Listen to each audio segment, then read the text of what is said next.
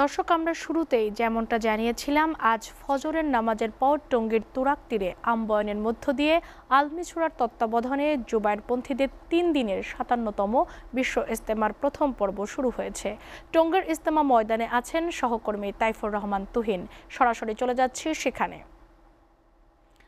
তুহিন ইস্তেমার প্রথম পর্বে মুসল্লিদের উপস্থিতি কেমন? আজ কি কি কর্মসূচি রয়েছে? তন্নি আপনাকে ধন্যবাদ। আপনি যেমনটি বলছিলেন যে আসলে মুসলিম বিশ্বের কিন্তু সবচেয়ে দ্বিতীয় বৃহৎ জমায়েত হলো এই টুঙ্গির ময়দানের যে ইস্তেমা আমি যদি আপনাকে একটু দেখাতে চাই যে আসলে ফজরের পরেই কিন্তু আম বয়ানের মধ্য দিয়ে কিন্তু এই ইস্তেমার প্রথম পর্বের কিন্তু আনুষ্ঠানিকতা শুরু হয়েছে।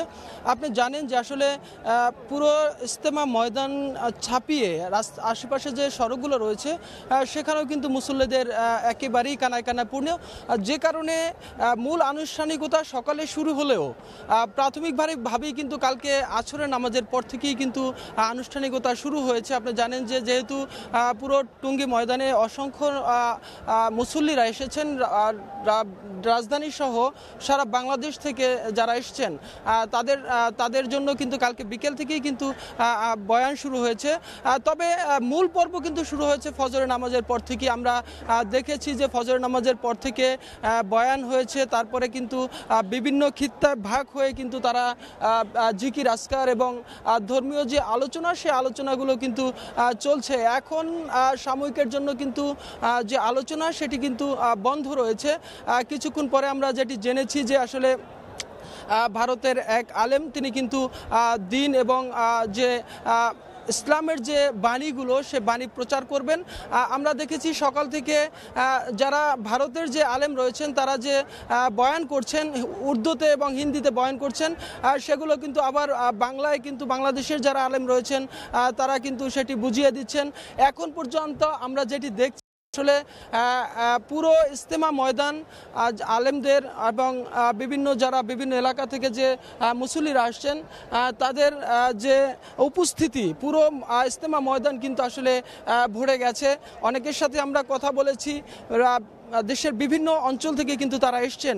আর তারা যেটি বলছেন যে আসলে ইস্তেমা ময়দানে অবস্থান করা একটু কষ্টসাধ্য হলেও কারণ এখানে পর্যাপ্ত যে পানি ব্যবস্থা এবং মানুষের যে দৈনন্দিন কার্যগুলো সম্পাদন করার জন্য যে সমস্ত ব্যবস্থা, সেগুলো কিন্তু আসলে যে পরিমাণে মুসল্লিরা আসছেন তার তুলনায় কিন্তু একেবারেই অপ্রতুল।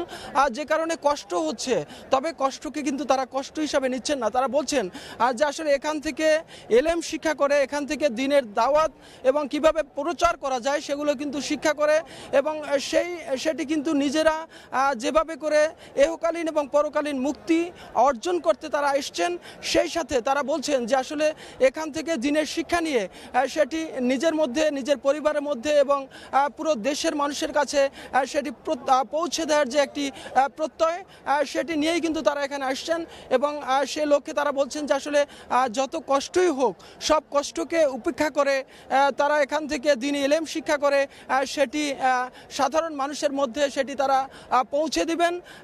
যার ফলে, যার মাধ্যমে তারা এহকালীন কল্যাণ এবং পরকালীন তারা কিন্তু মুক্তি লাভের আশা করছেন। তবে এখন পর্যন্ত আমরা যেটি দেখছি, আসলে অসংখ্য মুসল্লিরা তারা কিন্তু তাদের যে দৈনন্দিন যে কাজগুলো রয়েছে, সেগুলো সেরে ফেলছেন।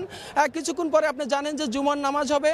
সে জুমার নামাজে কিন্তু এখানে লক্ষ লক্ষ মুসলমান একই সাথে নামাজ পড়বেন এবং তারা কিন্তু নিজের এবং দেশের জন্য সবশেষ মুসলিম উম্মার জন্য কিন্তু তারা প্রার্থনা করবেন যাতে করে সারা বিশ্বের মুসলমান তারা ভ্রাতৃত্ব বন্ধনে আবদ্ধ হতে পারেন এবং তাদের মধ্যে যে কলহ, বিবাদ এবং যে সমস্ত হিংসা বিদ্বেষ আছে সেগুলো ভুলে একটি সুন্দর এবং সুন্দর পৃথিবী যাতে উপহার এবং সারা বিশ্বের মানুষ যাতে যারা সংঘবদ্ধভাবে ইসলামের সুশীত সুশীতল ছায়াতলে যারা আশ্রয় গ্রহণ করতে পারেন সে লোকে কিন্তু তারা আল্লাহর কাছে প্রার্থনা করবেন এবং আমরা এই এই মুহূর্তে আমরা দেখছি যে আসলে কিছুক্ষণ পরেই কিন্তু জুমার নামাজের আনুষ্ঠানিকতা শুরু হবে বয়ান হবে এবং তারপরে কিন্তু নামাজ আদায় হবে।